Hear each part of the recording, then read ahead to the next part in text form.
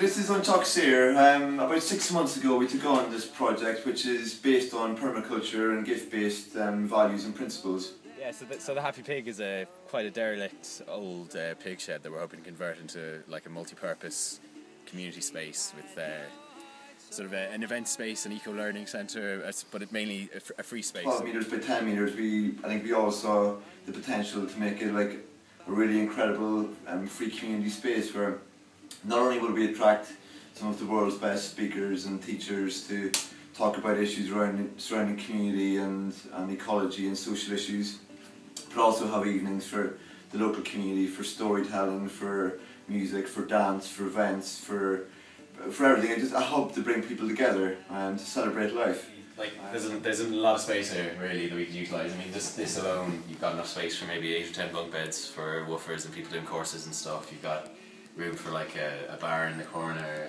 um, event space, uh, a stove in the middle. Like structure sound.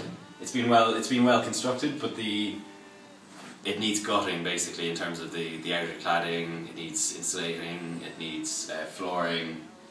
Um, yeah, it's it's we're basically using the existing shape and some of the existing structure, and we're just gonna have to build from from the bottom up. Yeah. We're very passionate about putting in the time and effort ourselves, but I guess we're asking a wider community to help us make it happen um, and, and, and to transform uh, an old um, an old pig barn into something that can be a force for um, a real positive social change.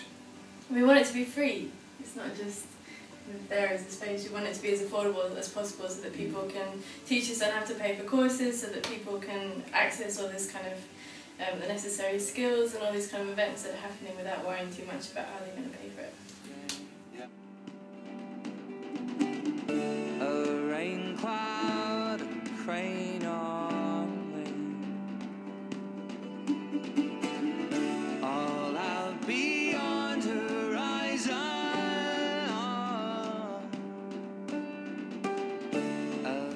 That it, it allows people to come here and experience what we're doing and then take that and see that sort of wider in the world, you know. Yeah, and I think the fact too that we're on a what's effectively a permaculture demonstration site means that it also allows the more theoretical end of permaculture to be thought in that space, um, while also spending a lot of our time out in the field showing people the, the really practical applications of it. So the potential for the Happy Pig uh, within the context of the whole project is just phenomenal, and we really want to make this happen.